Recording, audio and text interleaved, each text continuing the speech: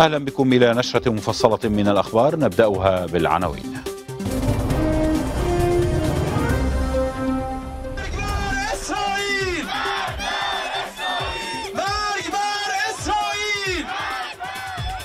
رئيسي يؤكد أن جريمة الاعتداء على القنصلية الإيرانية في دمشق لن تمر من دون رد والمجلس الأعلى للأمن القومي الإيراني يعلن اتخاذ القرارات المناسبة وجلسة لمجلس الأمن اليوم بطلب روسي.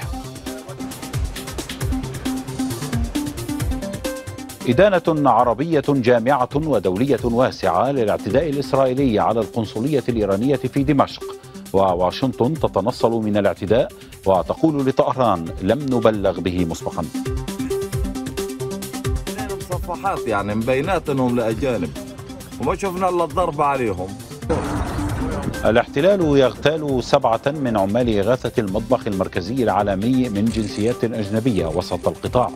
والمنظمة تؤكد أن الاعتداء جرى رغم التنسيق مع الجيش الإسرائيلي وتعلن وقف عملياته الصحة الفلسطينية تؤكد استشهاد 400 مواطن في المجزرة الإسرائيلية بمجمع الشفاء الطبي والبيت الأبيض يطلب إيضاحات من إسرائيل. إسنادا لغزة المقاومة الإسلامية في لبنان تستهدف موقع المالكي غداة سلسلة عمليات ضد الاحتلال طالت مقرا قياديا ومواقع وتجمعات على الحدود. المقاومة الإسلامية في العراق تعلن استهداف قاعدة تل نوف الجوية الإسرائيلية داخل الأراضي الفلسطينية المحتلة.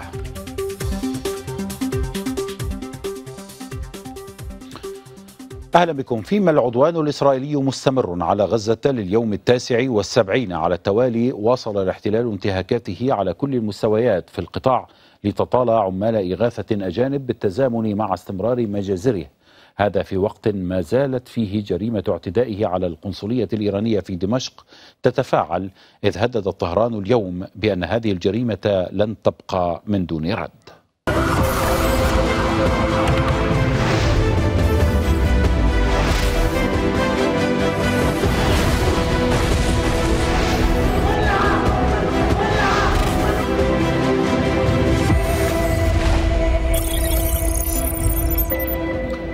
أكد الرئيس الإيراني إبراهيم رئيسي أن الاعتداء الإسرائيلي على القنصلية الإيرانية في دمشق هو جريمة إرهابية جديدة لن تبقى من دون رد.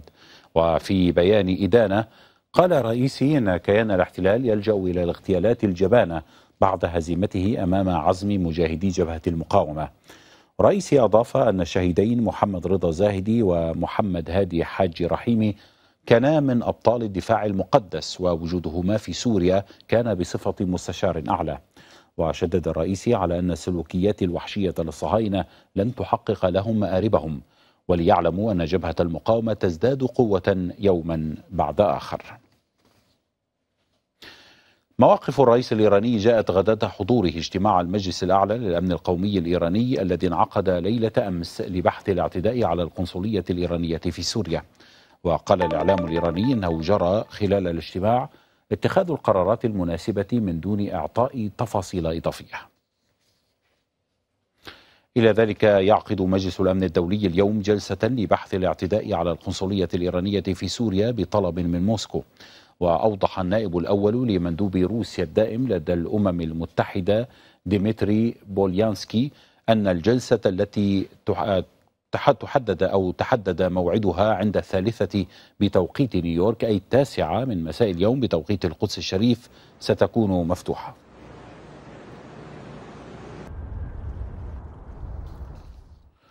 الممثلية الإيرانية لدى الأمم المتحدة كانت قد طالبت مجلس الأمن باتخاذ إجراءات لازمة وبعقد اجتماع عاجل لبحث الانتهاك الصارخ للقوانين الدولية عبر العدوان الإسرائيلي على القنصلية الإيرانية في دمشق. وفي رسالة إلى الأمم المتحدة حملت الممثلية الإيرانية الاحتلال الإسرائيلي مسؤولية جميع عواقب هذه الجريمة الإرهابية. مشددة على أن إيران تحتفظ بحقها في الرد الحاسم على مثل هذه الجرائم وفق ميثاق الأمم المتحدة. ودعت الرسالة مجلس الأمن للتأكد من تنفيذ العدالة بحق من يتحمل مسؤولية مثل هذه الإجراءات المجرمة. وكان قد ارتقى سبعة شهداء في عدوان إسرائيلي. استهدف أمس مبنى القنصلية الإيرانية في العاصمة السورية دمشق. وأكد بيان حرس الثورة الإسلامية في إيران أن من بين الشهداء قائد قوة القدس في لبنان وسوريا العميد محمد رضا الزاهري ومساعدة. مصدر عسكري سوري قال إن العدوان الإسرائيلي أدى إلى تدمير مبنى القنصلية الإيرانية بكامله واستشهاد وإصابة كل من كان بداخله.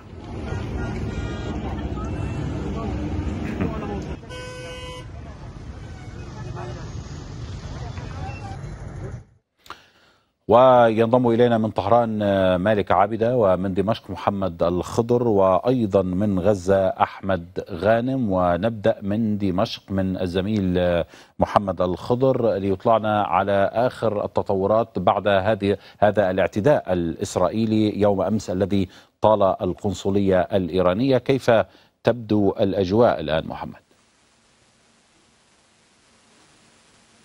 صباح الخير.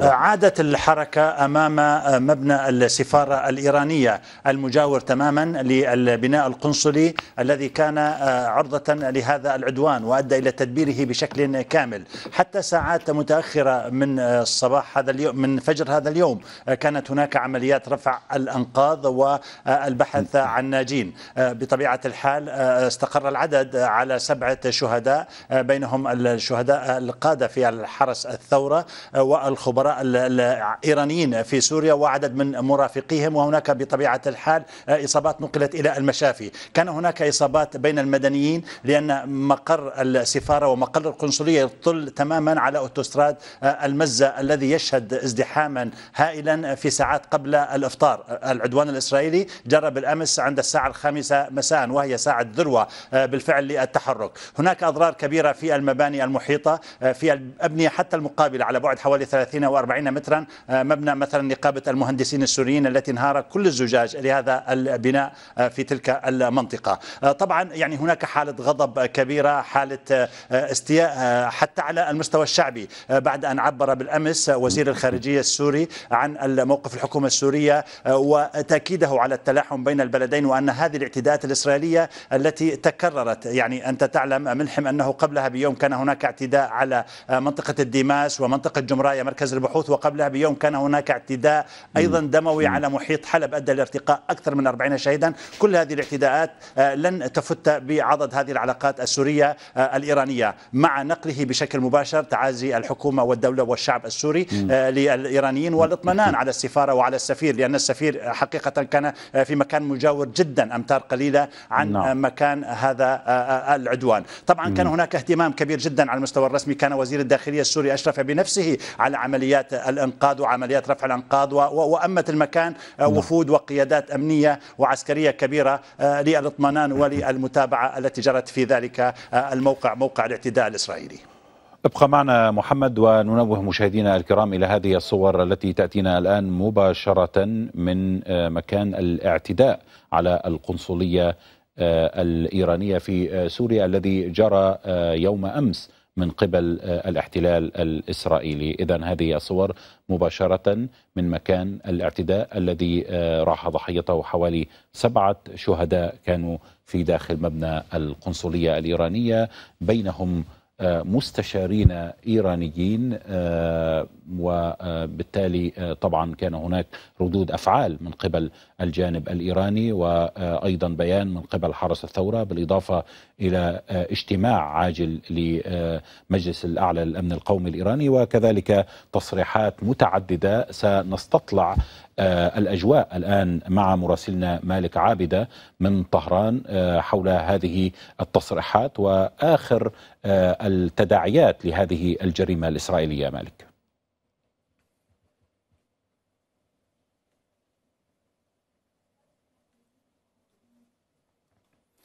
نعم الحين جميع المؤشرات والدلائل تشير إلى أن هناك رد إيراني قادم على هذه الجريمة والاعتداء الإسرائيلي على القنصلية الإيرانية في سوريا. وهذا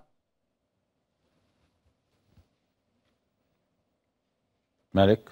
مساء. يوم أمس ال ال الاجتماع الطارئ لمجلس الأمن القومي الإيراني يوم الأمس واليوم واليوم أيضا عبر الرئيس الإيراني الرئيس الإيراني إبراهيم رئيسي قبل قليل على أن آه، هذه الاعتداءات الإسرائيلية لن تحول آه، دون آه، دون تقويه محور المقاومة وبأن الرد أو على الصهاينة انتظار الرد من إيران. هذا من جهة. من جهة أخرى أيضا قبل قليل كان هناك تصريح لافت لوزير الداخلية الإيرانية أحمد وحيدي وأكد بأنه أن الرد على الصهاينة أن ينتظروا الرد الحاسم من إيران. إذا هذه التصريحات وهذه ال ال ال ال الإعلانات من قبل المسؤولين الإيرانيين تؤكد أن هناك رد إيراني لا سيما أن هناك غضب شعبي استياء شعبي كبير تنديد شعبي المسيرات عفوا الوقفات الاحتجاجية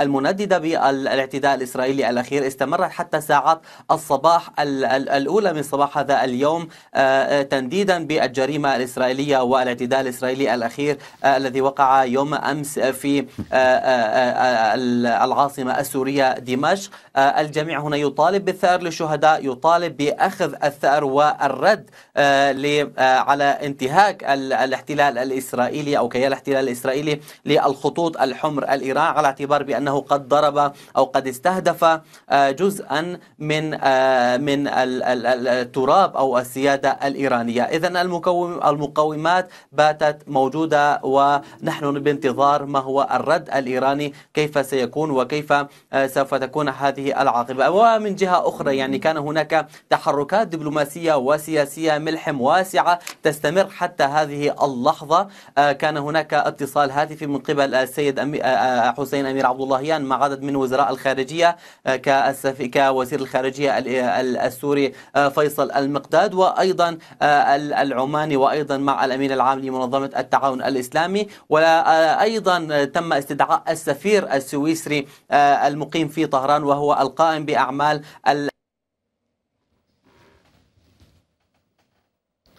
نعم. رسالة له مفادها بأن الأمريكيين سوف يحاسبون على دعمهم على آه، دعمهم ال ال ال ال الكبير لكيان الاحتلال الإسرائيلي. الإدانات ما تزال مستمرة حتى هذه اللحظة. آه، وزارة الخارجية الإيرانية تتواصل مع جميع المنظمات والمؤسسات الدولية من أجل إدانة هذا الاعتداء آه، الإسرائيلي على القنصلية الإيرانية ملحم مالك ابقى معنا ننتقل إلى غزة ومعنا من هناك الزميل أحمد غانم ليطلعنا أيضا على آخر التطورات الميدانية في قطاع غزة. أحمد.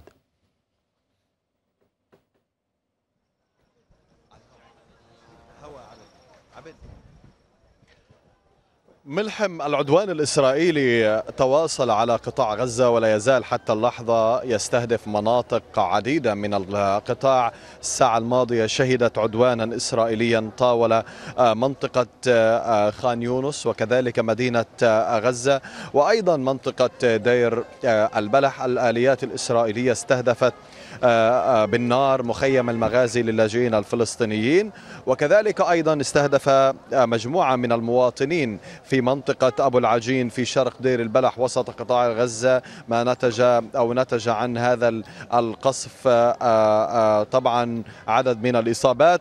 وكذلك شنت الطائرات الحربية الإسرائيلية سلسلة من الغارات على خان يونس جنوب آه، القطاع. ولكن منذ الليلة الماضية يعني يوم أمس شهدنا استهدافا إسرائيليا لتجمع للأطفال بكل أسف في منطقة البرازيل في حي يعني على الحدود المصرية الفلسطينية. راح ضحية هذا القصف خمسة شهداء وهذه الليلة ارتقى ستة شهداء آخرين في قصف إسرائيلي استهدف منزلا لعائلة آه، آه، زعرب آه، إلى الغرب من مدينة رفح. ما أدى إلى وقوع ستة شهداء ظلت عمليات الإنقاذ طبعا عدة ساعات متواصلة بفعل ضعف إمكانات طبعا الدفاع المدني. في خان يونس جنوب قطاع غزة الجيش الإسرائيلي قصف مجموعة من المواطنين قرب دوار الشيخ ناصر وسط خان يونس ما أدى إلى ارتقاء أربعة شهداء. والطائرات الحربية الإسرائيلية دمرت منزلا لعائلة قديح مقابل مدرسة طيبة في عبسان الكبيرة شرق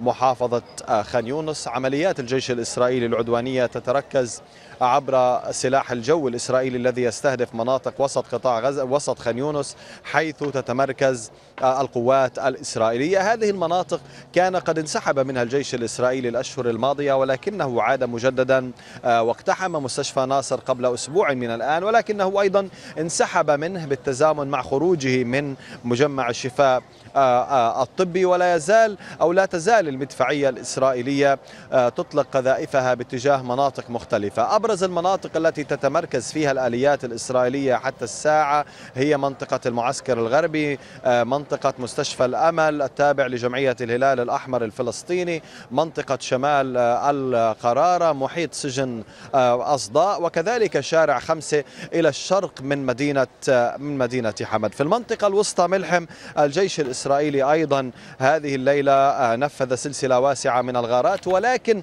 أبرز الجرائم الإسرائيلية كانت استهداف سيارة تابعة للمركز أو المطبخ المركزي العالمي ما أدى إلى ارتقاء سبعة من عمال هذا المركز معظمهم من حملة الجنسيات الأجنبية.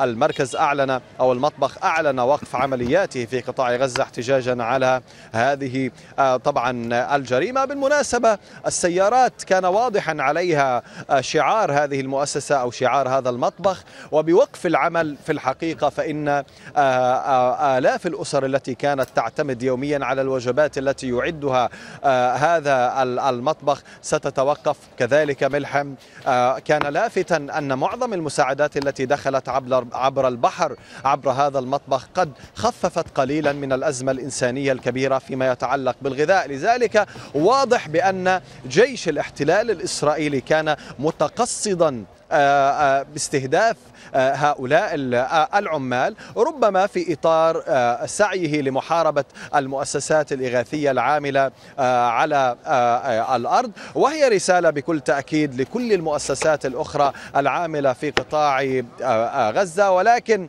من الواضح بأنه بعد وقف مؤسسة يعني الأغذية العالمية عملها في مدينة غزة واليوم المطبخ المركزي العالمي هذا قد يترك آثارا مدمرة في الحقيقة على أوضاع مليون وخمسمائة ألف نسمة من النازحين على الأقل في مدينة رفح جنوب القطاع وأكثر من 600 ألف في المنطقة الوسطى هؤلاء سيتعرضون ربما أو ستتعمق أوضاع المجاعة لديهم كان هناك شهيد طفل في استهداف مسجد نعم. البشير في منطقة دير البلح هذه الليلة والقذائف المدفعية تواصلت طوال الليل على مخيمي البريج والمغازي وكذلك مفترق الشهداء المغراقة مدينة الزهراء بالإضافة إلى شمال المناطق الشمالية الغربية للنصيرات في مدينة غزة بعيد نعم. انسحاب الجيش الإسرائيلي من مجمع الشفاء الطبي. تواصلت عملية انتشال الشهداء والجرحى. المكتب الإعلامي الحكومي قال بأن بأن أكثر من 400 جثة تم انتشالها من محيط هذا المجمع. أحمد غانم شكرا جزيلا لك. كنت معنا من رفح والشكر لمالك عابدة من طهران ومحمد الخضر من دمشق.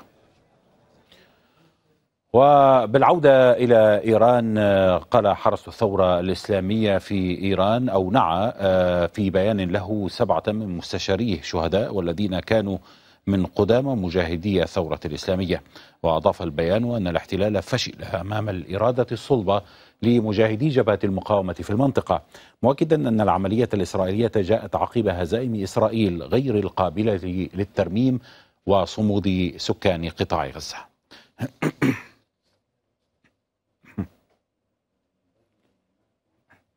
هذا وأعلن وزير الخارجية الإيراني حسين أمير عبد اللهيان أن بلاده استدعت القائمة بأعمال السفارة السويسرية لديها لتأكيد مسؤولية الولايات المتحدة في الهجوم على مبنى قنصلية طهران في العاصمة السورية دمشق.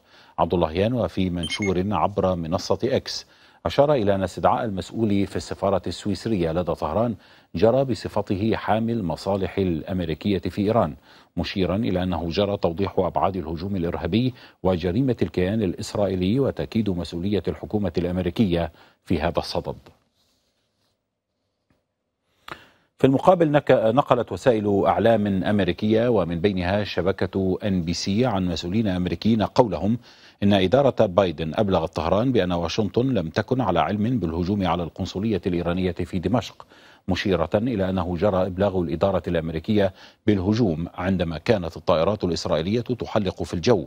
كذلك أفاد موقع أكسيوس بأن الولايات المتحدة أبلغت إيران بأن ليس لها أي علاقة أو معرفة مسبقة بالهجوم وبأن إسرائيل أخطرت إدارة بايدن بالضربة على دمشق قبل تنفيذها بدقائق قليلة. ونقل إكسيوس عن مسؤولين إسرائيليين أن تل أبيب لم تطلب موافقة واشنطن على تنفيذ العملية وأن الجيش الإسرائيلي في حالة تأهب قصوى تحسبا لعمليات انتقامية. وزير الخارجية الإيراني كان قد قال إن نتنياهو فقد توازنه العقلي عقب هزائمه المتتالية في غزة وعدم تحقيق أي من أهدافه في الحرب. وفي اتصال هاتفي مع نظيره السوري فيصل المقداد أكد عبد اللهيان أن العدوان الإسرائيلي على القنصلية هو تجاوز لجميع الأعراف الدبلوماسية والمعاهدات الدولية محملا إسرائيل مسؤولية عواقب هذه الخطوة. وزير الخارجية السوري كان قد أكد من مبنى السفارة الإيرانية في دمشق أن هذا الاعتداء هو انتهاك للقانون الدولي. نؤكد مرة أخرى أن إسرائيل لا يمكنها أن تؤثر على العلاقة التي تربط الجمهورية العربية السورية والجمهورية الإسلامية الإيرانية. لقد قلنا منذ وقت طويل أن إسرائيل والكيان العنصري الصهيوني هم رمز للإرهاب في هذا العالم. والمجازر التي ارتكبوها في قطاع غزة بشكل خاص وفي الضفة الغربية تدل على أنهم ليسوا ببشر. تدل على أنهم يحاربون الإنسان أينما كان.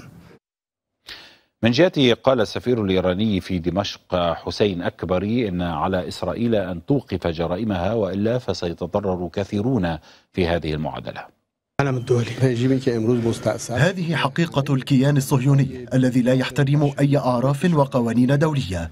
هذا الكيان يقوم بأعمال منافية للإنسانية ونحن سنبقى إلى جانب المقاومة والشعب ولسنا قلقين من إجراءات هذا الكيان الصهيوني. يجب أن يوقفوا هذه الجرائم المرتكبة وإذا لم تتوقف الجرائم فسيتضرر الكثير في هذه المعادلة. وفي طهران خرجت تظاهرات حاشدة في طهران وعدد من المدن الإيرانية تنديدا بالعدوان الإسرائيلي على مبنى القنصلية الإيرانية في دمشق ودعما لقطاع غزة.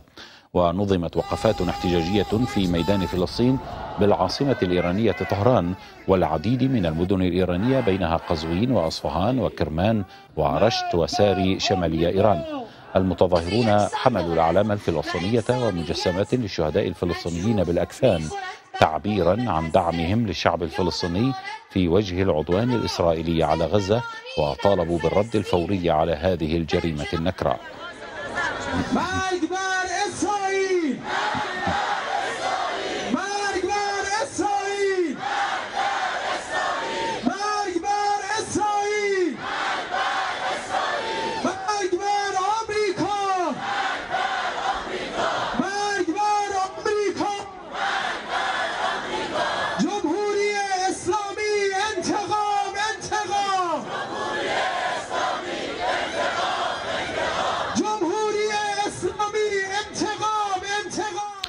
وزارة الخارجية السعودية أدانت استهداف مبنى القنصلية الإيرانية في دمشق وفي بيان عبرت الخارجية عن رفض الرياض القاطع لاستهداف المنشآت الدبلوماسية لأي مبرر كان وتحت أي ذريعة. وأكدت الخارجية السعودية أن العدوان يعد انتهاكا للقوانين الدبلوماسية الدولية وقواعد الحصانة الدبلوماسية. وأدان كل من الإمارات والعراق وسلطنة عمان وقطر ومصر والأردن وحكومة صنعاء العدوان على القنصلية الإيرانية في دمشق إضافة إلى باكستان وروسيا والصين. كما أدان كل من كوبا وفنزويلا الاعتداء الإسرائيلي على القنصلية الإيرانية في دمشق وأدانت كذلك الجبهة الشعبية لتحرير فلسطين والجهاد الإسلامي وحركة حماس استهدافها فيما أكدت من جهتها أحزاب اللقاء المشترك في صنعاء أن الجريمة محاولة لتصدير أزمة الاحتلال الداخلية إلى الخارج بعد فشله لنحو نصف عام أمام المقاومة الفلسطينية. حزب الله أدان جريمة استهداف واغتيال القائد زاهدي وإخوانه في مبنى القنصلية الإيرانية في دمشق مؤكدا أن هذه الجريمة لن تمر من دون عقاب وانتقام. وفي بيان شدد حزب الله على أن هذه الجريمة تدل على أن الاحتلال الإسرائيلي ما زال على حماقته حين يعتقد أن تصفية القادة يمكن أن توقف مقاومة الشعوب مضيفا أن شهيد زاهدي كان من الداعمين الأوائل والمضحين والمثابرين من أجل تطوير وتقدم عمل المقاومة وأن دماءه ستثمر مزيدا من الإصرار على المقاومة ومواجهة الاحتلال.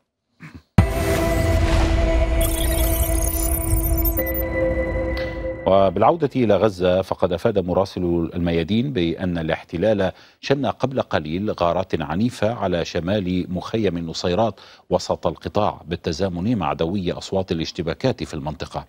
جيش الاحتلال آه، كان قد اغتال فريق إغاثة أجنبيا مكونا من سبعة أشخاص بقصف استهدف سيارة تابعة لمنظمة المطبخ المركزي العالمي.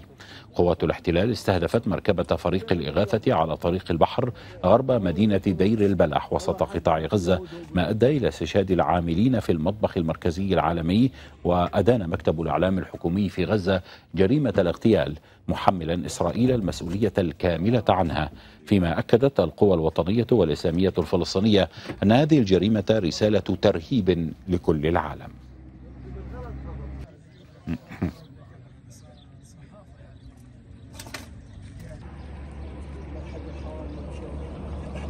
الجبين هذول اللي بيعملوا طعمة للنازحين من غزة وإشي.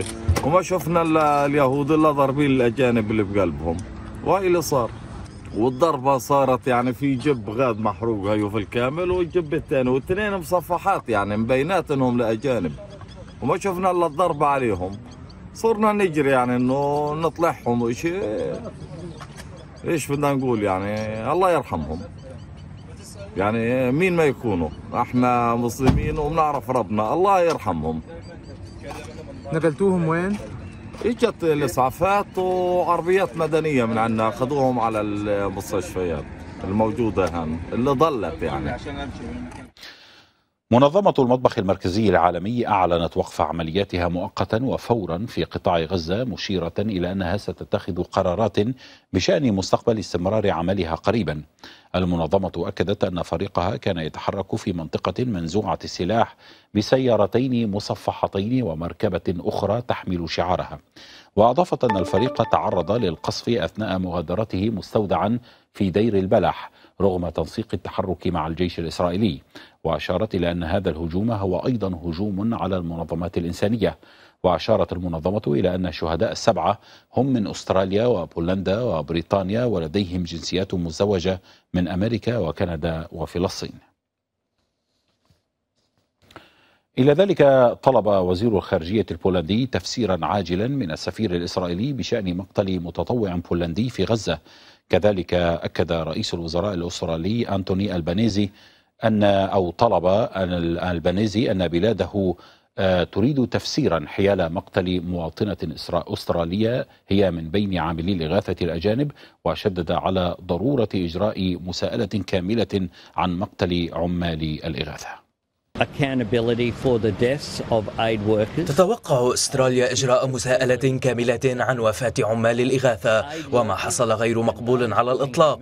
يجب توفير الحماية لعمال الإغاثة والعاملين في المجال الإنساني بل لجميع المدنيين الأبرياء. كان لأستراليا موقف واضح جدا يتمثل في دعم وقف إطلاق النار مستدام والدعوة إليه مدة من الوقت والدعوة إلى وصول المساعدات الإنسانية إلى سكان غزة الذين يعانون هذا الحرمان وللتأكد من إطلاق سراح السجناء كما يجب. منظمة المطبخ المركزي العالمي نشرت مقطع فيديو يظهر موظفة الإغاثة الأسترالية خلال عملها في غزة أواخر الشهر الماضي. وفي تفاصيل الفيديو تظهر موظفة الإغاثة الأسترالية في أحد مطابخ المنظمة في دير البلح.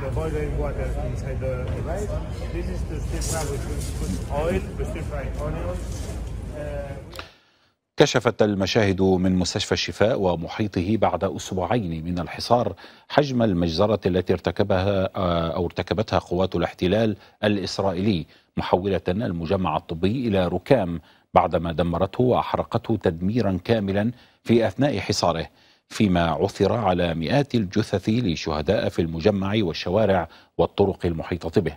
مراسلنا محمود العوضيه جال في أقسام المستشفى ومحيطه وأعد التقرير التالي.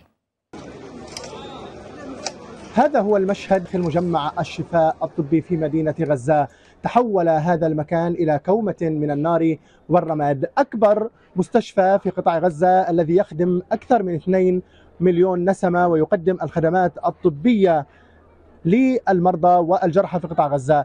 حوله الاحتلال الإسرائيلي إلى ساحة حرب وإلى كومة من الردم. مبنى الجراحات التخصصي نراه في الواجهة وفي الصورة. حوله الاحتلال الإسرائيلي أيضا إلى كومة من النار. المستشفى مدمر بالكامل مجرف بشكل كامل. في هذا المكان هنا نرى مبنى الاستقبال. يعني لم يبقى استقبال ولم تبقى مستشفى حوله الاحتلال الإسرائيلي وكأنه ساحة حرب. مئات من الشهداء مئات من الأسرى إعدامات ميدانية في داخل هذا المكان. محيط المستشفى حوله الاحتلال الإسرائيلي إلى ساحة حرب. سنتجول في داخل المستشفى ونرصد لكم حجم الدمار الكبير الذي خلفه الاحتلال الإسرائيلي. هنا نرى دمارا كبيرا مهما تجولنا في داخل أقسام المستشفى. دمار كبير دمار واسع وكأن الاحتلال الإسرائيلي في هذا المكان. يعني لا ندري ما هي نية الاحتلال الإسرائيلي باقتحامه لهذا المكان الذي أحرقه بشكل كامل في ظل وجود آلاف من النازحين والجرحى والمرضى في داخل أروقة مجمع الشفاء الطبي. تحول هذا المكان كما نرى في الصورة وفي المشهد إلى ردم وإلى مكان محروق خرج وترك خلفه هذه الحرائق وترك خلفه أسرة المرضى بدون أي ملامح وبدون أي معالم. هنا مبنى الجراحات التخصصي من الداخل بصعوبة حتى صعدنا إلى هذا القسم. كما نرى حجم التدمير وكأنه تسونامي ضرب مجمع الشفاء الطبي. من داخل مبنى الجراحات التخصصي في مدينة غزة داخل مجمع الشفاء الطبي نشاهد هذه الصور لحجم التدمير على ما يبدو بأن الاحتلال الإسرائيلي بطائرات الإف 16 كان يقصف هذا المكان الذي خرج منه عشرات من جثامين الشهداء هذا المكان دمره الاحتلال الإسرائيلي بشكل كامل. الآن المجمع هو بحاجة إلى تدمير كلي وإسقاط على الأرض بشكل كامل وتجريفه وإنشائه من البداية لأنه حتى لا يصلح فيه أي نوع من أنواع الإعمار بعد ذلك.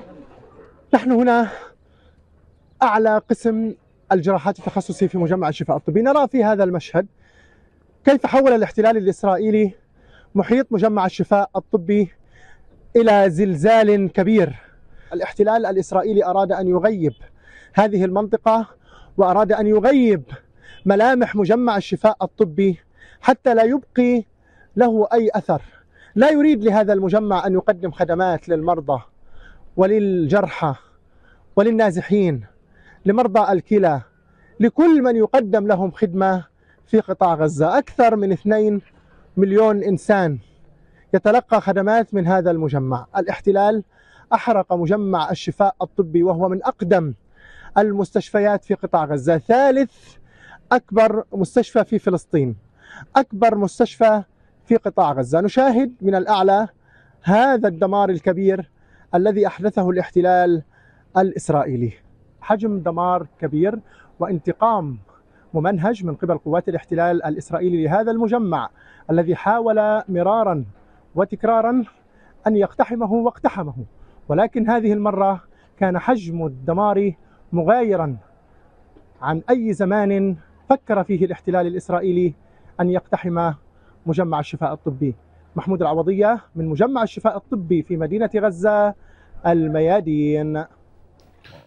المكتب العالمي الحكومي في غزة أكد أن الاحتلال الإسرائيلي ارتكب جريمة صادمة ضد ضد الإنسانية بتدمير وحرق وتجريف مجمع الشفاء الطبي. وأضاف المكتب أن قوات الاحتلال قتلت أكثر من 400 شخص واعتقلت نحو 300 وحاولت إخفاء جرائمها بإعدام مئات المدنيين والجرحى داخل أسوار المجمع. وحمل المكتب الإعلامي الحكومي الإدارة الأمريكية والمجتمع الدولي والاحتلال الإسرائيلي المسؤولية الكاملة تجاه جريمة مجمع الشفاء لكونهم هم من يعطون الاحتلال الضوء الأخضر للاستمرار في جرائمه من دون إدانتها.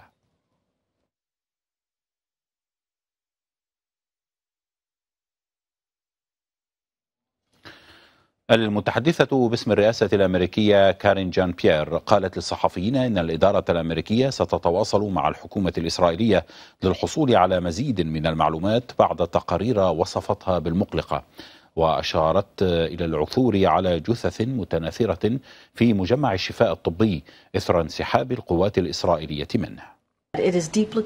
إنه أمر مقلق جدا إذا كان هذا صحيحا. نحن نتواصل مع الحكومة الإسرائيلية للحصول على مزيد من المعلومات وهذا أمر مهم أيضا. علينا أن نتأكد من التحقق من صحة ما نسمعه ومن التحقق من المشاهد أيضا. إلى الضفة الغربية حيث اقتحمت قوة إسرائيلية خاصة البلدة القديمة في نابلس واعتقلت الشاب منتصر عكوب بعد إصابته في قدميه. قوات الاحتلال كانت قد دفعت بتعزيزات عسكرية باتجاه نابلس قبيل انسحابها من المدينة كما اقتحمت قوات الاحتلال بلدات ومناطق عدة في الضفة الغربية المحتلة.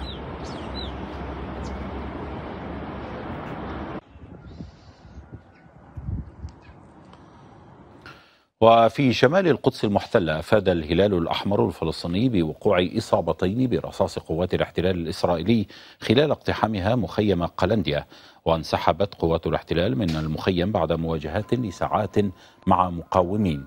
قوات الاحتلال استهدفت الطواقم الصحفية بالقنابل الصوتية وعرقلت عملها عند مدخل المخيم.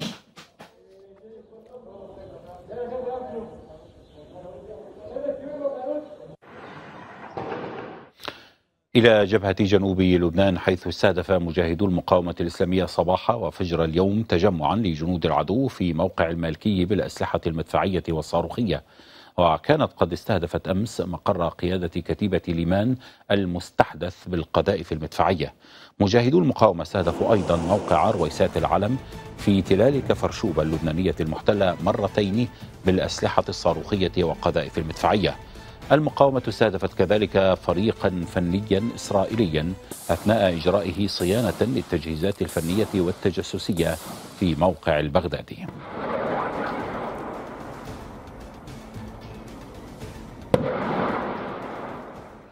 المقاومة الإسلامية في لبنان نشرت مشاهد من عملية استهداف تجهيزات تجسسية مستحدثة في نقطة الجرداح التابعة لجيش الاحتلال الإسرائيلي عند الحدود اللبنانية الفلسطينية.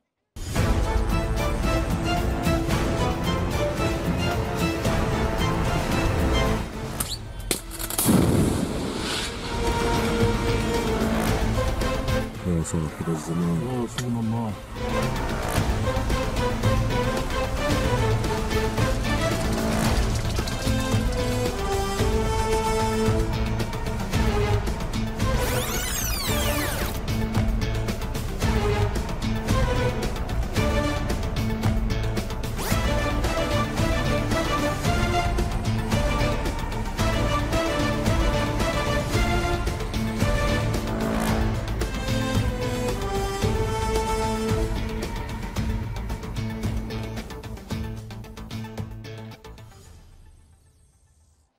إلى العراق حيث أكدت المقاومة الإسلامية استهدافها قاعدة تل نوف الجوية الإسرائيلية داخل الأراضي الفلسطينية المحتلة فجر اليوم الثلاثاء. وفي بيان أكدت المقاومة العراقية أن عملية الاستهداف جرت باستخدام الطائرات المسيرة مؤكدة استمرارها في دك معاقل الأعداء استكمالا للمرحلة الثانية لعمليات مقاومة الاحتلال ونصرة أهالي غزة. في غضون ذلك أقر الناطق باسم جيش الاحتلال الإسرائيلي بأن هدفا جويا سقط على قاعدة للجيش بمنطقة خليج إيلات وأظهر مقطع فيديو أكدت وكالة رويترز صحته لحظة الهجوم حيث شوهد الدخان يتصاعد من أحد المباني.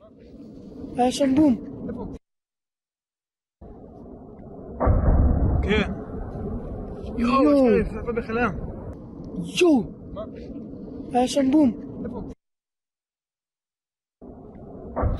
مسؤول المكتب الأمني في كتائب حزب الله العراق أبو علي العسكري أكد أن المقاومة الإسلامية في العراق أعدت عدتها لتجهيز مجاهدي المقاومة الإسلامية في الأردن. العسكري أشار إلى تجهيز نحو 12 ألف مقاتل للدفاع عن الفلسطينيين بمختلف أنواع الأسلحة الخفيفة والمتوسطة والقاذفات ضد الدروع والصواريخ وذلك لشروع في قطع الطريق البري الذي يصل إلى الكيان الصهيوني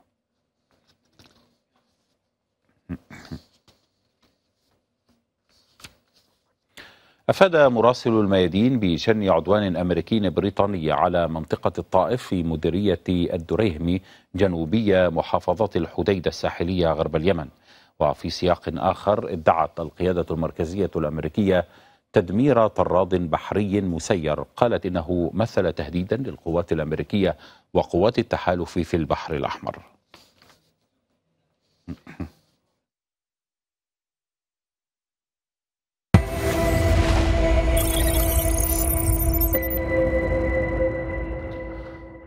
تظاهر عشرات الآلاف في تل أبيب بدعوة من أهالي الأسرى لدى المقاومة في غزة للمطالبة باستقالة حكومة نتنياهو.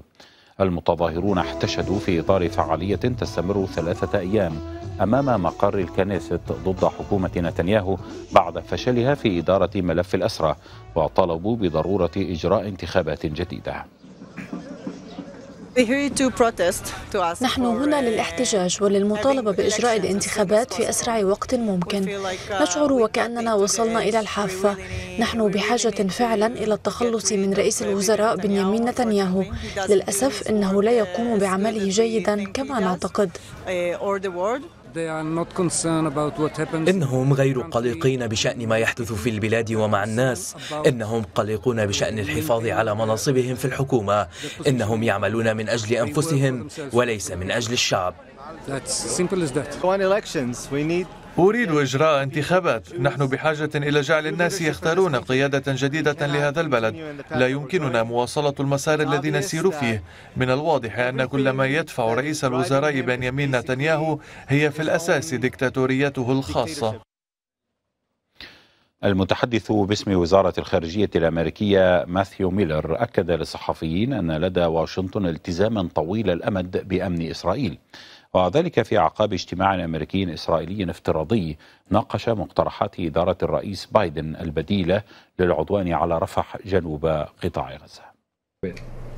So we will continue to make سنستمر في تقديم ما نعتقد أنه أفضل لإسرائيل بشأن الإجراءات التي يجب أن تتخذها في رفح والتي لن تقلل فقط من الضرر الذي يلحق بالمدنيين الفلسطينيين.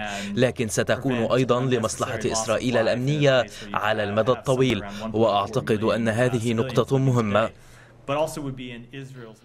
لليوم التاسع على التوالي شهد محيط السفارة الإسرائيلية في العاصمة الأردنية عمان تظاهرة حاشدة للمطالبة بقطع جميع العلاقات مع إسرائيل ومحاكمتها هي وأمريكا والمطالبة بوقف العدوان. لنا شهيد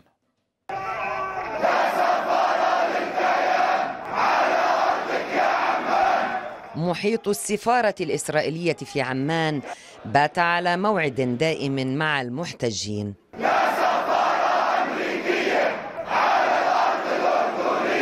غضب عارم على إسرائيل وأمريكا فهما في عيونهم وجهان لعملة واحدة هي الإرهاب. أمريكا دائما على مر العصور هي رأس الإرهاب الأول هي رأس الحي الأفعى الكبرى. بدعمها بإسنادها للاحتلال الصهيوني. هي شريك أساسي في كل المجازر اللي ارتكبت بوطننا العربي من أقصى إلى أقصى. أمريكا هي الراعي الحقيقي للصهيونية هي الراعي الحقيقي لدولة الاحتلال. هذا الكلام مش عاطفي هذا الكلام قامت عليه الدلائل لحد اليوم.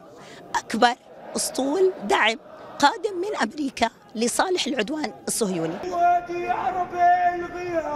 مطالب المحتجين ثابتة لا تتغير. وقف الحرب على غزة وقطع كل العلاقات بإسرائيل ودعم المقاومة. دخول المساعدات بأي شكل مش فقط في الإنزالات لازم يكون في هناك فتح لكل المعابر. هذا شغلة ثانية ثالث شيء واللي هو الأهم من هذا الموضوع إيقاف الجسر البري هون بالأردن. نرفض جميع الاتفاقيات جميع ال ال ال أي, أي, أي علاقة أو اتفاق مع, مع الكيان الصهيوني. نحن لا نرى في هذا الكيان إلا على أنه كيان غاصب محتل غاشم يغتصب أرضنا يقتل أبنائنا. بدنا ننهي التطبيع بدنا نوقف الجسر البري والأهم من هيك إحنا موجودين هون إسنادا للمقاومة ودعما إلها جميع فصائل المقاومة وين ما كانت تكون. إحنا بنأيد أي عمل مقاوم. إحنا اليوم جايين ندعم المقاومة اللي خذلها كل العالم بأكمله المقاومة اللي هي حق مشروع للشعب الفلسطيني وحق كفلته جميع التشريعات والقوانين الدولية. بالقسم على الدفاع عن فلسطين انتهت التظاهرة مع وعد وعهد للعودة إلى محيط السفارة حتى تغلق على نحو كامل. محاكمة إسرائيل وقبلها أمريكا على رأس مطالب المتظاهرين الذين يدعون إلى معاقبتهما لأنهما صنوان لا يختلفان ورأس الحربة في العدوان. ويقولون إن التاريخ لن يرحم المجرمين والمتآمرين والمتخاذلين. لنا شاهين عمان آه الميادين للمرة الأولى منذ تأسيسه يخسر حزب العدالة والتنمية الانتخابات المحلية بهذه الصورة في تركيا. نتائج فاجأت الجميع وأحدثت صدمة كبيرة في أوساط الحزب الحاكم. فما الأسباب التي أدت إلى هذه الهزيمة وما أبرز التبعات والتحولات؟ عمر كعيد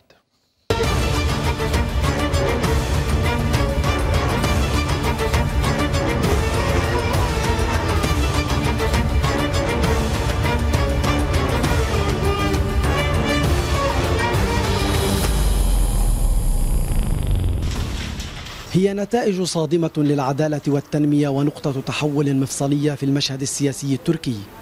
وهي أيضا إنذار قوي وحاسم حول مستقبل الحزب الحاكم ما لم يجر تقييما شاملا ويظهر أداء مختلفا على نحو سريع. نتائج الانتخابات المحلية التركية كانت تصويتا ضد حكم الرئيس رجب طيب إردوغان قبل أن تكون تصويتا لصالح حزب الشعب الجمهوري المعارض. وبالتالي أرسل الناخب التركي رسالة واضحة إلى الرئيس إردوغان بأنه مستعد هذه المرة لمعاقبته إلى درجة إحداث تغيير سياسي على المستوى العام في حال لم ينجح في إدارة أو في معالجة المشاكل الأساسية لتركيا. أسباب عديدة أدت إلى خسارة العدالة والتنمية. لعل أهمها استمرار تدهور الليرة التركية وارتفاع الأسعار بشكل كبير وأزمة المتقاعدين. فيما أكد كثير من المراقبين أن الموقف من غزة غير المقنع للمحافظين ولشريحة كبيرة من القاعدة الشعبية للعدالة والتنمية. دفعتهم للعزوف عن التصويت أو الذهاب باتجاه الاقتراع لحزب الرفاه من جديد إضافة إلى ذلك لعبت عوامل أخرى دورا في رسم هذا المشهد غير المسبوق. ولعل أبرزها الأداء الناجح لرؤساء بلديات حزب الشعب الجمهوري وتفكك التيار القومي وانشقاق حزب الرفاه عن تحالف الجمهور. رسالة قاسية وجهها الناخب التركي للعدالة والتنمية في هذه الانتخابات. والسؤال هل سيعمد الحزب الحاكم إلى إجراء مراجعة جذرية لاستعادة المبادرة وإنقاذ مستقبله السياسي؟ أم إن نتائج الانتخابات تشير إلى أن البلاد مقبلة على الدخول في حقبة جديدة. عمر كايد أنقرة الميادين. الكويتيون على موعد جديد مع صناديق الاقتراع بعد أقل من عام على آخر انتخابات برلمانية. فماذا في تفاصيل هذه الانتخابات وكيف ستتجلى التجربة الديمقراطية هذه؟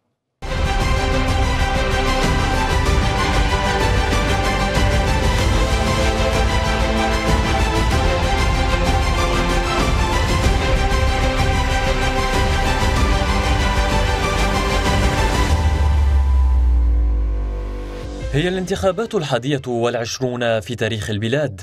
الكويتيون على موعد مجددا مع صناديق الاقتراع بعد أقل من عام على إجراء آخر انتخابات برلمانية وبعد مرسوم أميري بحل المجلس السابق وهو المرسوم الثاني عشر المماثل في تاريخ مجلس الأمة. فبحسب الدستور يحق لأمير البلاد أن يحل مجلس الأمة بمرسوم يبين فيه أسباب الحل.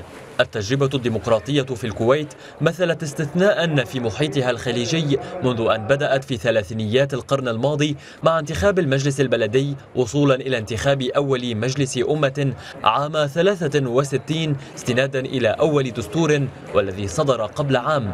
وهو دستور مكتوب تشترط إمكانية تعديله وتنقيحه شروطا وإجراءات خاصة أكثر شدة وتعقيدا من تلك المقررة في شأن القوانين العادية. الدستور الكويتي عمل لتحقيق التوازن بين النظام البرلماني والنظام الرئاسي حيث يتولى السلطة التنفيذية أمير البلاد والحكومة فيما يتولى السلطة التشريعية الأمير ومجلس الأمة. أما مهام السلطة التشريعية فهي التشريع والرقابة على تنفيذ السلطة التنفيذية للقوانين إذ لا يصدر قانون إلا إذا أقره مجلس الأمة وصدق عليه أمير البلاد. فيما تتمحور اختصاصات السلطة التشريعية حول ثلاث قضايا رئيسية هي الشؤون التشريعية والسياسية والمالية. ممارسة العمل الديمقراطي عن طريق الاختيار بالاقتراع. لا يقتصر على مجلس الأمة بل تشمل أنماطا متعددة كالانتخابات المحلية والبلدية. عموما ترسخت معالم التجربة الديمقراطية في النسيج الكويتي. فباتت الانتخابات أحد أهم الطقوس الاجتماعية والسياسية منذ الاستقلال وحتى اللحظة الراهنة. النشرة انتهت لمزيد من الأخبار والتقارير. يمكنكم زيارة صفحات الميادين على الإنترنت الميادين دوت نت باللغات العربية والإنجليزية والإسبانية. إلى اللقاء.